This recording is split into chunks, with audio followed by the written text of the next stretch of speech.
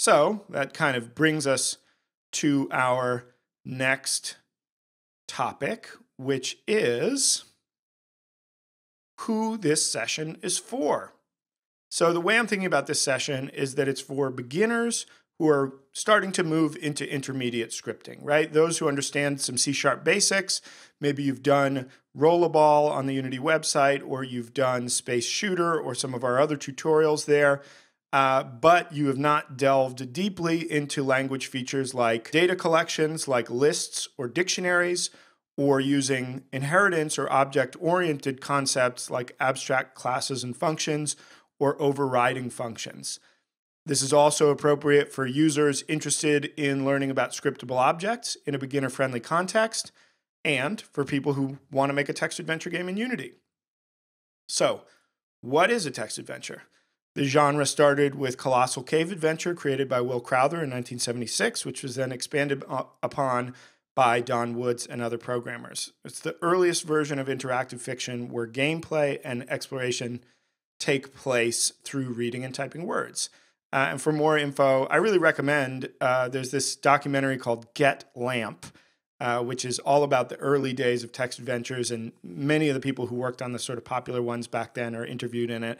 And it's kind of interesting just as like some early history of video games stuff, uh, if that is the kind of thing that you're interested in. So, Let's take a look at the completed project and some of the architecture that we're going to create before we go on.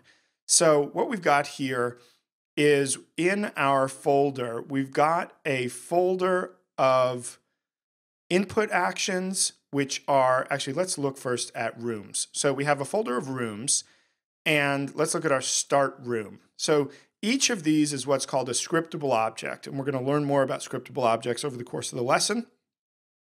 We've used them in some previous live trainings, but I'm hoping I can give people a gentle and easy to understand introduction to them here. Uh, and so we have a starting room. That's the first room that we enter. And it has a couple of fields. It has a field for the description. There's a name for the room, which we can use to check against if we're trying to solve puzzles. And then we have an array of exits. In this case, we only have one which is to the north. So this is the key string. This is what's going to be typed. This is what it'll respond to when typed. And then there's a description of the exit. And that links us to another scriptable object, which is the orb room, right? If we highlight the orb room, we see the description, a description of the exits, and then a list of any interactable objects in the room. So if we look at, for example, one of our items, the skull, which is one of these interactable objects, we see that it has a description, it has a noun, right, which is basically its keyword. And then there's a couple of actions, which are called input actions that can be taken with it examine, take, or use. And those either display some text or, in this case, call an action response, which executes some further code.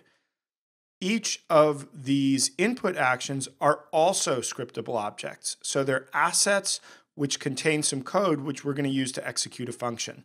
So if we look at, for example, Go, which we're going to be creating today, all we see here is a keyword.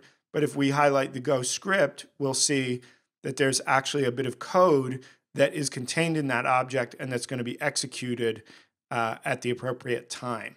So this is kind of the, the architecture, the structure that we're going to be learning in addition uh, to the, the text adventure content here. And this is how we're going to build our text adventure.